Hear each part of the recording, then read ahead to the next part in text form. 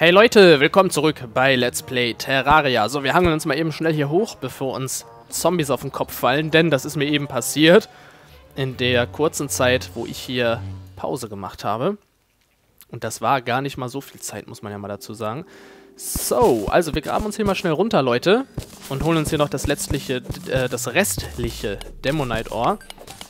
So. Da drüben sehen wir dann auch noch ein bisschen was. Da grabe ich mich einfach mal hier durchführe. Dann haben die Gegner da auch ein bisschen schwerer zu uns zu kommen. Und ich mache jetzt trotzdem ein bisschen Licht. Ihr sollt ja nicht ganz im Dunkeln hier herumirren. Zack. Und ich weiß halt nicht, oh, was es hier noch so alles zu entdecken gibt. Ich könnte mir halt vorstellen, dass es hier irgendwo doch noch ein paar fliegende Inseln und so gibt. Ich meine, wir könnten unseren Drecksturm ja einfach mal hier ein bisschen weiterbauen, oder? Obwohl, ah, jetzt ist es auch schon wieder Nacht. Und das in der Corruption ist immer so stressig, obwohl die Corruption ist ja hier dann gleich eigentlich auch zu Ende. Ich überlege gerade, ganz links, äh, ganz links beim Ozean, was hatten wir da noch? Mussten wir da noch mal hin? Gab es da noch irgendwas zu entdecken? Und die Harpien waren zu stark für uns. Ich bin mir nicht mehr sicher gerade. Oh Mann, ey. Ne, keine Ahnung. Ich weiß es nicht mehr, ob wir die Harpien nicht besiegen konnten damals oder ob wir wieder gegangen sind, weil es einfach nichts gab dort an dieser Stelle. Ihr könnt es mir gerne mal in die Kommentare schreiben, ob wir dort noch irgendetwas hatten. Oh, jetzt kommt da doch noch einer. Nein, nicht darunter. Oh, das wäre so mies gewesen, ey. Dann hätte ich echt den Typen aber verprügelt. Naja, machen wir auch so. Wenn er sich nochmal blicken lässt, kriegt er es mit unserem Laserschwert zu tun. Laserschwert, Laserschwert. Zack. So ist schlimm, dass es immer so dunkel sein muss hier in der Nacht. Mann, Mann, Mann. Obwohl, Moment, wir haben doch hier den Orb of Light. Obwohl ich halt finde, der versorgt einen nicht so wirklich mit Licht. Ja, Glückwunsch. Ich finde, der ist ein bisschen dunkel. Aber gut, besser als gar nichts. Von daher nutzen wir den jetzt einfach mal, dass er uns ein bisschen Licht zumindest spendet. Und ich glaube, das, was wir hier gerade machen, bringt uns mal wieder gar nichts. Weil ich habe so das Gefühl, dass wir hier nicht mehr irgendetwas Neues entdecken werden. So, unser Dreck neigt sich langsam aber sicher auch dem Ende zu. So. Ja, da kommt noch ein Eater, ey. Die sind echt hartnäckig, muss ich ja mal sagen. Wir sind schon lange, lange, lange aus der Corruption raus, aber die Viecher kommen immer noch hinter uns hergedackelt. Die nehmen ihren Job noch ernst. Wenn die sich einmal auf die Fahne geschrieben haben, wir töten Grants, dann versuchen sie es wirklich immer und immer wieder. Auch wenn sie natürlich keinen Erfolg haben. So, hier habe ich nur noch Sand, aber hier habe ich noch mehr Dirt. Okay. So eine Scheißtreppe hier. Ich glaube echt, dass wir nicht sonderlich viel Erfolg damit haben werden, Leute. Aber probieren geht bekanntlich über Studieren. Nachher ärgern wir uns, weil wir hier irgendwas Tolles nicht mehr gefunden haben. Ich frage mich, wie hoch wir jetzt gerade schon wieder sind. Aber die Gravity verändert sich scheinbar noch nicht. Also wir können immer noch nur genau diese ganz normalen Sprünge machen. So. Boah, ist das crank. Okay, gleich habt ihr es geschafft, Leute. Dann haben wir auch den letzten Stack an Dreck verbraucht. Und was haben wir entdeckt? Gar nichts. Mann! Warum nicht? Spiel. Wir brauchen neue Items. Wir brauchen bessere Items. Wir wollen einfach toller werden und so weiter. Okay, Leute, ich springe einfach mal hier runter. Mal schauen, was da dann so passiert. Ich denke mal, wir werden irgendwo im Dschungel landen. Vielleicht sogar auch noch in der Corruption. Wenn wir nicht weit genug gesprungen sind. Ja, wir sind im Dschungel gelandet. Na okay, dann lasst uns einfach mal hier so die Oberfläche vom Dschungel schon mal so ein bisschen ablaufen. Dann können wir schon mal so ein bisschen schauen, was es hier so gibt. Ob es irgendwie interessante Sachen zu entdecken gibt hier. Oder ob wir uns wirklich direkt in den Underground-Dschungel begeben sollten. Wird sich alles zeigen. Na, komm her. So, blöden Viecher. Ja, diese kleinen Zombies sind ja jetzt noch nicht so das große Problem. Oh, was ist da? Ein normaler Mushroom, okay. So, hier ist auch jetzt schon wieder ein anderes Ding. Oh, Moment, das ist Eisen, oder nicht? So, hier ist der Dschungel jetzt scheinbar auch schon wieder zu Ende. Das ging ja doch recht schnell. Silber ist es sogar. Ja, dann werfe ich auf jeden Fall auch nochmal einen Blick. Oh, da ist eine Stinger. Da ist eine... Ach du Heilige, was will die denn? Geh weg. Boah, ey. Hör auf mich zu nerven, Drecksvieh. So, also hier hoch. Und dann... Oh, Leute. Der jo äh, der... Ne? Shit. Der Dungeon. Moment, habe ich da gerade noch eine Truhe gesehen? Ich bin mir nicht sicher. Aber ich meine hier... Ja, okay, super. Endlich habe ich auch mal eine Truhe entdeckt. Sonst hätte es nachher wieder gehießen, du hast die Truhe nicht gesehen, du bist schwul. So, was ist hier drin? Oh, eine Goldmünze und Marius Helm. Den setze ich auf, der ist cool. Wir nehmen natürlich das Gold auch noch mit. Und ja, auch die Truhe ist nicht sicher für uns. Und ich werde den Teufel tun, jetzt mich irgendwie mit Skeleton anzulegen. Allein schon, weil ihr es ja selber seht, die Nacht ist schon so gut wie zu Ende. Ich werde aber trotzdem mal versuchen, hier hinter zu schauen, was auf der anderen Seite von dem Dingens los ist. Oh, da oben ist noch ein Schneebiom. Jetzt habe ich keinen Dreck mehr, das ist doch nicht normal. Aber wir haben hier noch ein bisschen Stone-Blöcke. Dann nutzen wir die halt einfach. Warum auch nicht? Um uns hier so eine kleine Treppe rüber zu bauen. Oh, da ist sogar eine Lampe. Okay. Keine Ahnung, was jetzt hier abgeht, Leute. Also so ein Schneebiom hatten wir im Let's Play bisher auch noch nicht. Hier sind, glaube ich, auch... Oh, der Baum geht ja mal wieder hoch. Ah, wer weiß, ob da... Oh, da ist eine Hütte. Was ist hier denn los? Wer wohnt denn hier? Moment, hier ist noch ein Schild. Snow Globe will probably work only on Christmas. Ah, okay. Also ist hier eine Weihnachtsmütze. Oh, geil, eine Weihnachtsmütze. Lustig. Nee, wir sind trotzdem eher Mario. Candy Cane Blocks und... Oha, ein Snow Globe. Damit müssen wir vorsichtig sein. Den darf ich jetzt nicht aus Versehen aktivieren. Ich weiß nicht, wofür das Licht ist. Das ist irgendwas für die elektrische Lichter da draußen? Ja. Okay, das geht dann ja. Nicht, dass das jetzt hier alles explodiert oder so. Wer wird sowas denn bauen?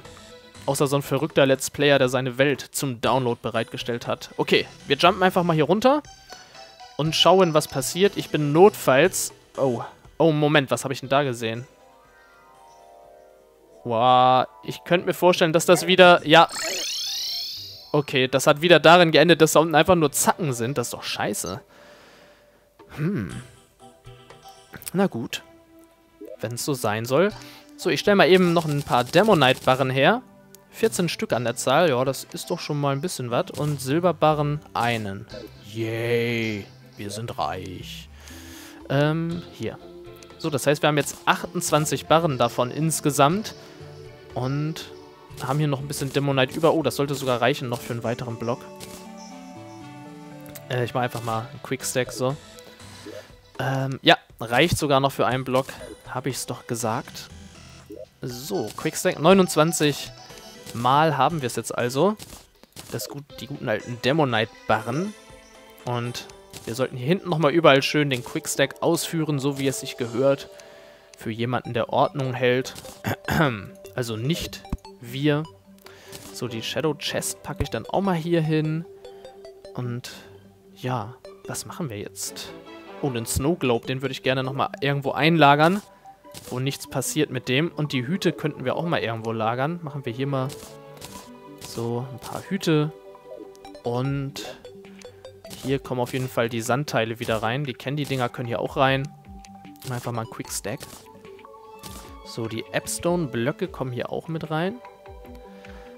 Und Stone-Blöcke, zack. Holz, Dreck. Ja, das sieht doch gut aus. Okay. Die Stinger würde ich gerne loswerden noch. Ähm, die könnten hier mit rein. Genauso wie die Rotten Chunks. Und ansonsten, ja, die Shadow Scales, die muss ich eigentlich ja auch nicht mit mir herumschleppen, oder? Komm, die tun wir einfach mal mit hier rein. Ja, ich weiß nicht, ob ich jetzt noch Metroid abbauen soll. Ich glaube, das lasse ich eigentlich eher, weil ich habe keine Verwendung mehr dafür. Aber wir könnten einen Helm ganz gut gebrauchen. Ich, ich nehme nochmal eben kurz das Demonite mit, was wir haben. Und frage Brad mal eben... Ne, wie hieß er nochmal? Luke, genau, stimmt. Ich vergesse es immer wieder. Dann fragen wir Luke mal eben, was kann man da nochmal alles draußen machen? Ich habe es schon wieder vergessen.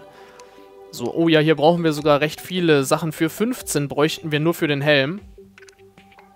Das wäre eigentlich auch ganz cool. Und das ist sogar recht geil für Leute, die Nahkämpfer sind. Naja, das heißt, wir könnten uns doch eigentlich den Helm schon mal herstellen.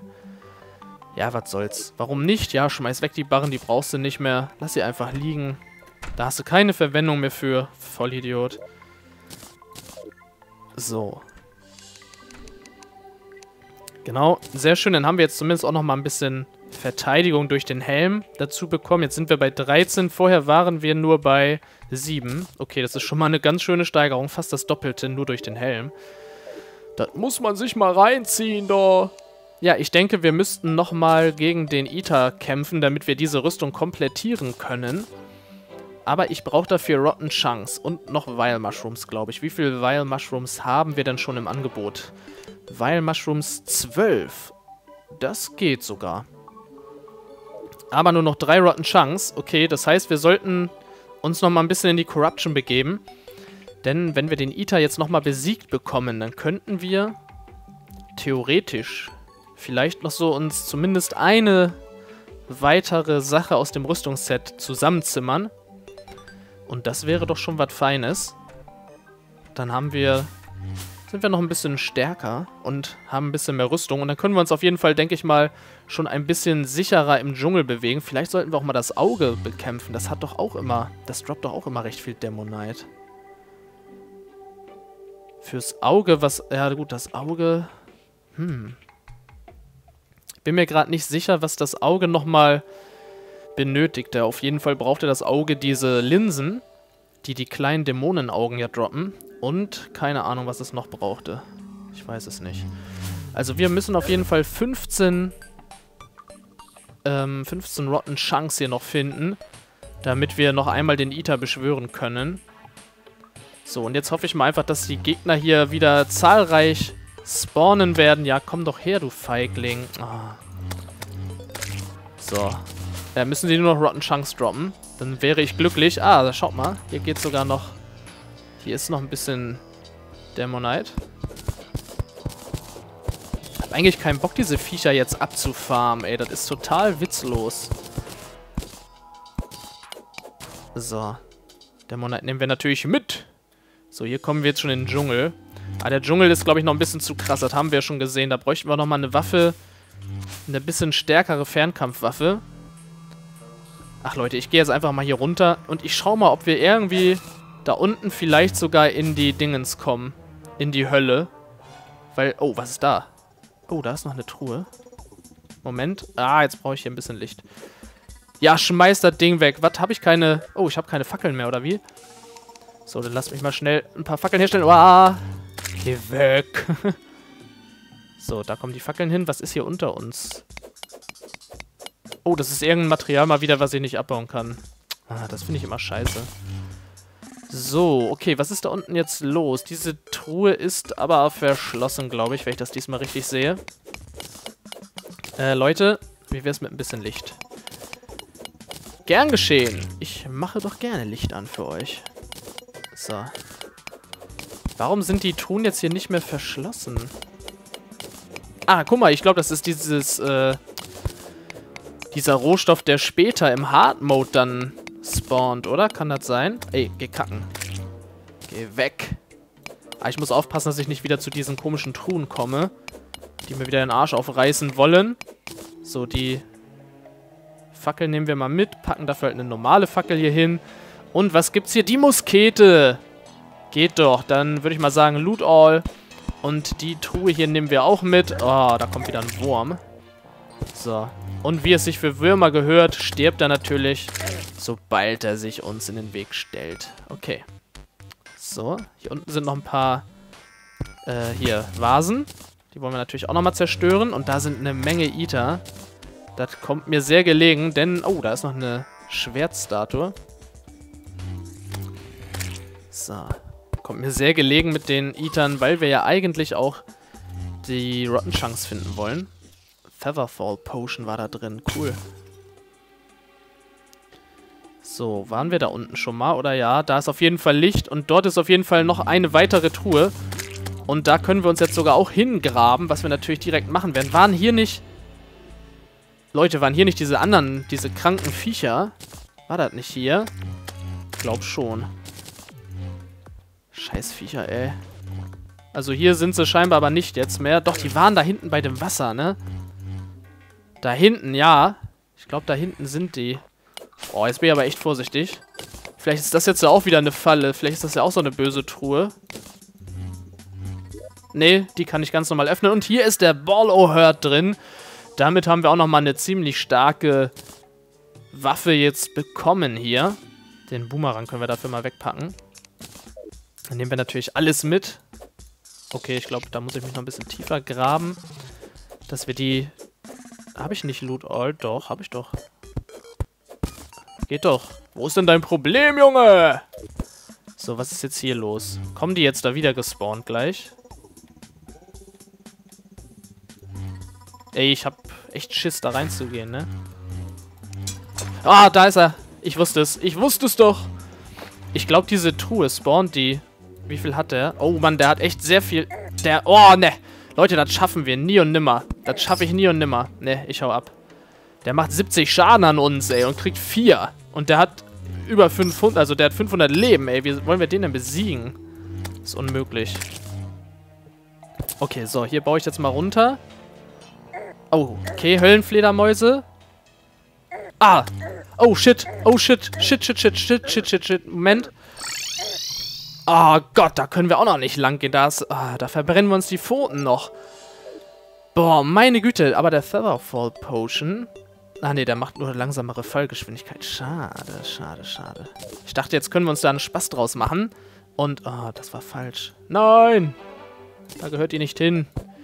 Ich dachte, jetzt können wir hier so geil rumfliegen. Das wäre natürlich sehr cool gewesen. So, ich hau noch mal ein paar Quick Stacks hier raus, jeweils bei den ganzen Sachen. Die Schwertstatue kommt hier hin. So, und dann machen wir hier noch mal einen Quick Stack. Ah, geht nicht mehr. War ja auch nur die Truhen-Dingens. Die Truhen. Äh, die, die Statue-Truhe. So, okay, also mein Inventar ist noch ein bisschen zugemüllt. Das müssen wir dann beim nächsten Mal noch ein bisschen, äh, ja, korrigieren, möchte ich mal sagen.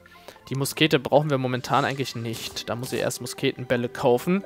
Das heißt, wir brauchen für den Armsdealer jetzt nochmal wieder ein neues Haus. So viel steht schon mal fest, Leute. Und ich würde einfach mal sagen, wir sehen uns beim nächsten Mal hier an dieser Stelle wieder, wenn du Lust hast. Ich würde mich auf jeden Fall freuen und sage bis dann. Mach's gut, ciao!